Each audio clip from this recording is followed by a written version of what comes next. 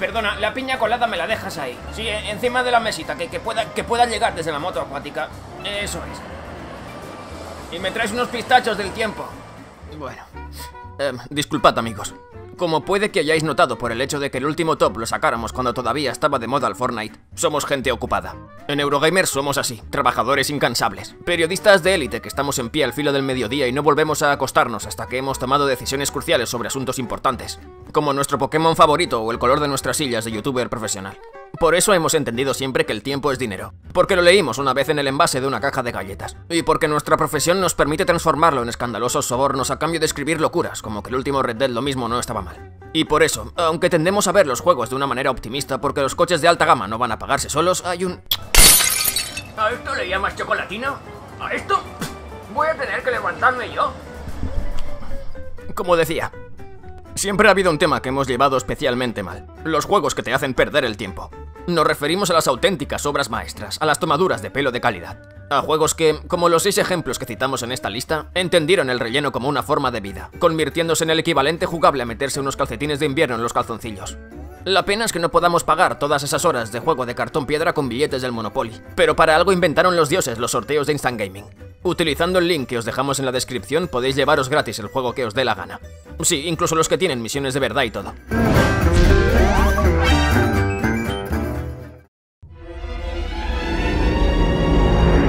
Espacio. La oscuridad. La quietud. El intenso olor a humanidad producto de llevar los mismos calzoncillos durante meses. Un ambiente idílico de libertad y aventura. De sentirse un pionero enfrentado a la inmensidad del universo. Un Magallanes con wifi. Y entonces el horror. Uno a uno, tus compañeros empiezan a caer. Un ser obsceno que sangra ácido, respira amoníaco y desayuna pizza con piña está dando caza a todos los tripulantes de la estación. Además, se ha terminado el chocolate a bordo. Bastante duro esto. Así daba comienzo Alien Isolation. Y con él un ballet mortal contra una de las inteligencias artificiales más avanzadas hasta la fecha. Un depredador perfecto. Una máquina de olisquear armarios y agacharse bajo mesas camilla que incluso podía escuchar tus lamentables grititos si osabas conectar una webcam. Todo muy trepidante, hasta que se fue la luz por primera vez.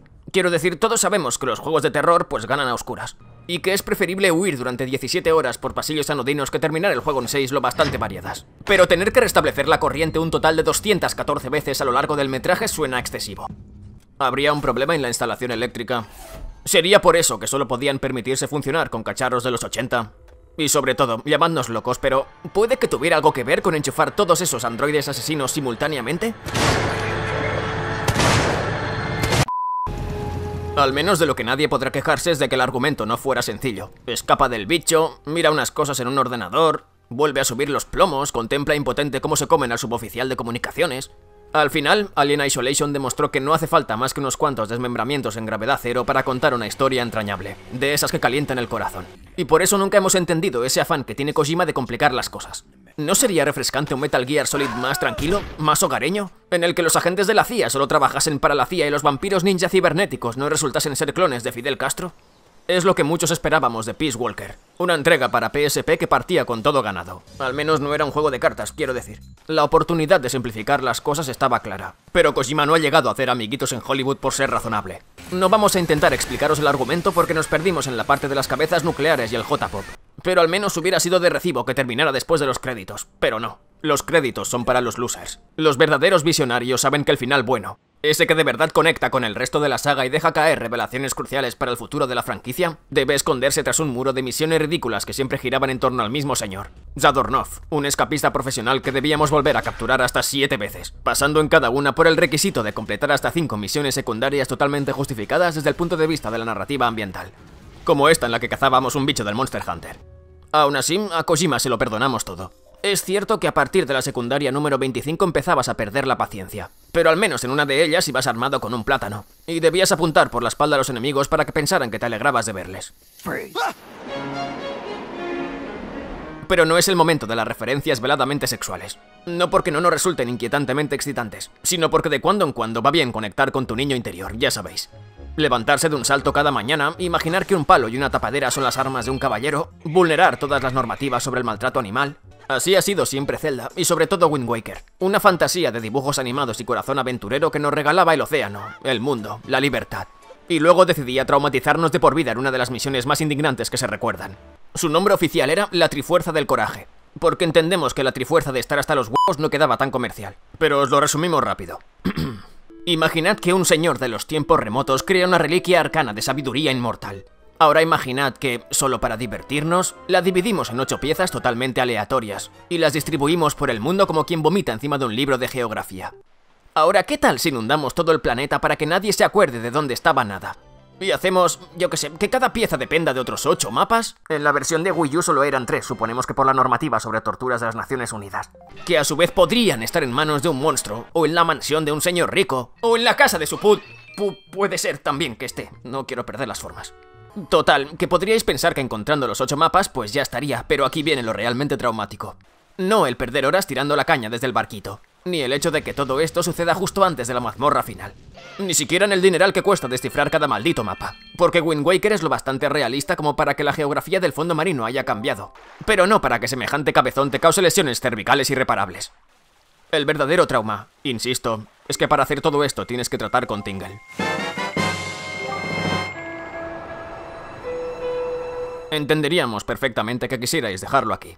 A fin de cuentas ha sido un golpe bajo, y la visión de semejante ser de pesadilla es suficiente para amargarle la fiesta a cualquiera. Aún así, habiendo llegado tan lejos, retirarse da como cosa, porque os perderíais al ganador y un montón de chistes de elevado perfil intelectual. Y sobre todo porque con este van cuatro puestos. ¿Cuánto puede torcerse la cosa estando tan cerca del final? Eso debieron pensar los damnificados por Ricor. Una agradable aventura de acción que mezclaba el shooter en tercera persona, el sistema de colores de Licaruga y los perretes robóticos, y que venía padrinada por el propio Keiji Inafune como una de las grandes exclusivas de Microsoft. Lo que pasa es que ya sabéis cómo son estas cosas. Tú te lías a modelar roboces y que si el desierto, que si tal, unas movidas muy locas. Total, que lo típico, te llaman para tomar una caña, ¿no? Y se te junta, pues claro, la noche con el día. Cuando te quieres dar cuenta, de repente ya es septiembre y tienes que sacar el juego, pero es que no, no tienes nada. Pero en fin, si algo nos ha enseñado la industria del videojuego es que nada es un verdadero problema si tienes más cara que espalda, así que todo arreglado. Ponemos un jefe final, que hasta ahí todo bien. Y cuando te lo hayas pasado, hacemos que se monte en un ascensor y te grite desde la azotea que subas si tienes huevos. Y entonces, bueno, empieza la fantasía, y, y, las llamadas al defensor del pueblo. El ascensor te pide, para entrar, un nivel no sé cuántos. Y además, varios orbes de energía que están escondidos en el desierto. Y que es una cosa muy normal según la normativa europea. Y como el juego te ha costado una pasta y tu existencia no tiene sentido, pues obedeces, claro. Y entonces vuelves, porque dignidad poca y orgullo menos aún. Y te encuentras con que hay unas plataformas y unas movidas, y luego otro ascensor que te pide el doble de bolas y un nivel aún mayor. Pasas otras 6 horas dando vueltas como un gilipollas, que es algo que siempre apetece mucho. Y regresas para encontrarte, cuidado, un tercer ascensor, más niveles, más bolas, más plataformas. Otro ascensor, más plataformas, más desierto, más ascensor, más bolas. 8 ascensor, 6 bolas, mus plataforma, desierto ascensor. One more floor. Let's do this, guys. Eso es lo que tú te crees que te pide. Perdóname, pero eso no es verdad, eh. Perdóname, pero la verdad no es cierta. A ver, por favor, cuéntanos qué es lo que viste. Bueno, pues claro, se iba todo ciego, ¿qué va a ver? ¡Mentira! Cogiste mi partida del Tetris 99 y la borraste así. Bueno, bueno, bueno, qué mentiroso. Bueno, bueno, bueno, qué mentiroso. A ver, por favor, bailemos todos la cucaracha. La cucaracha, la cucaracha, la cucaracha. Ya no puede ser Vaya movida. Sémola de maíz, aceite de maíz, sal de maíz, sustancias aromatizantes de maíz.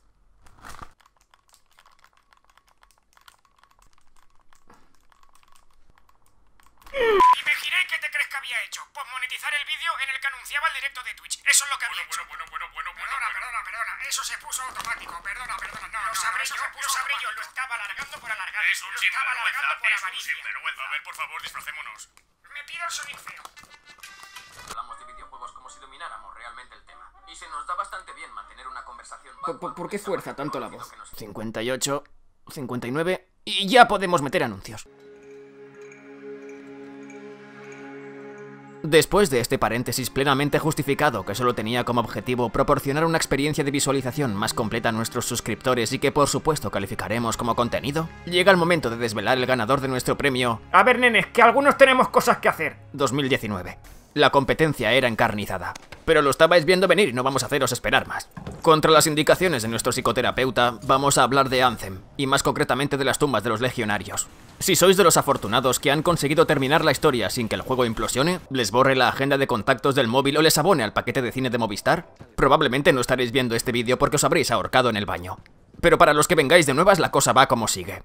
Todo comienza cuando Connor, un joven pero intrépido transmografiador del vacío, nos informa de que nuestros colegas Flurx y Bruneida, evidentemente nos lo estamos inventando todo. Somos incapaces de recordar una sola palabra del argumento. Necesitan que salgamos ahí fuera a abrir unas tumbas. El motivo no nos queda muy claro y mucho nos tememos que a BioWare tampoco. Porque en el fondo la misión funciona como el final de Record pero al principio. Justo cuando la historia te empezaba a interesar un poco, quiero decir. Como dicen en todos los manuales sobre guion, es el momento perfecto para introducir una cadena de requerimientos absurdos que nos impidan continuar. Y que esta vez no solo nos piden ir a buscar orbes de energía por el desierto, también hay que recoger florecillas, y matar a grupos de enemigos muy rápido, y conseguir bajas de élite, y resucitar a señores que lo mismo nos habían muerto. Todo un surtido de grandes ideas que enriquecen la jugabilidad un montón. Porque ¿quién quiere jugar normal cuando puedes estar una hora encadenando bajas en cuerpo a cuerpo mientras ves las barritas subir? Y por eso nuestra pregunta es, ¿por qué detenerse ahí? Si los antiguos guardianes del turbofacio de nuevo, el argumento no nos ha terminado de quedar claro. No consideran que seamos dignos de progresar si no despachamos a 15 señores mediante combos. ¿Qué hay de las patadas en la entrepierna? ¿Por qué no nos piden mandar 20 mensajes con connotaciones sexuales a desconocidos que nos crucemos? ¿Es seguro continuar sin haber utilizado todos los saludos sobre cada cascada del juego?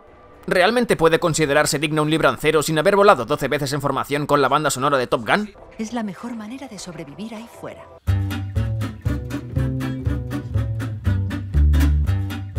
Esto ha sido todo, amigos. Como veis, hay una esperanza para ese sudor frío que os recorre la espalda cada vez que la madrugada os sorprende conectados a nuestro canal. En el mundo del videojuego hay formas mucho peores de invertir el tiempo que mirando vídeos de enroque. Así que dejadnos vuestra opinión en los comentarios y como siempre, suscribíos a Eurogamer y dadle al like si os ha gustado el vídeo. ¡Feliz día a todos!